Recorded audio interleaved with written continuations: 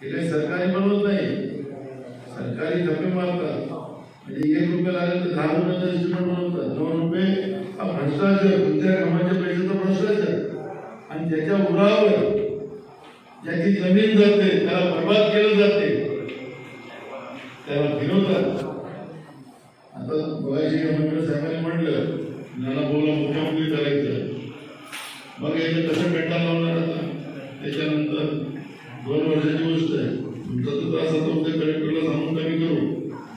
पण हे मध्ये जातं ना त्यांना कसं वाजवायचं आपल्याला माहिती आहे. तुम्ही पहिला माझा रूप बनवा विधानसभेत. म्हणून मी तुम्हाला सांगतो सगळे युनिटी करा मुरलीधरराव तुम्ही खूप समाजसेवा करतो. पण आता तुम्ही काँग्रेसचा प्रचार करा सरळ.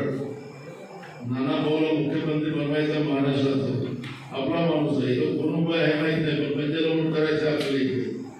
त्याच्याशिवाय नाही तर हे असंच फिरत राहायचं त्याला कोणाला काही समजतच नाही ना. सगळ्याचं दुःख ज्याला समजेल तोच करेल की नाही?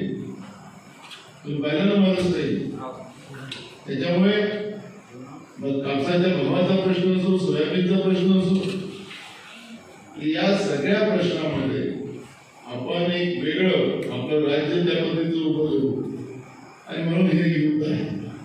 मी आता गेले अनेक दिवसापासून दौऱ्यात होतो रोज तीन वाजता चार वाजता झोपतो सगळे सहा वाजता उठतो.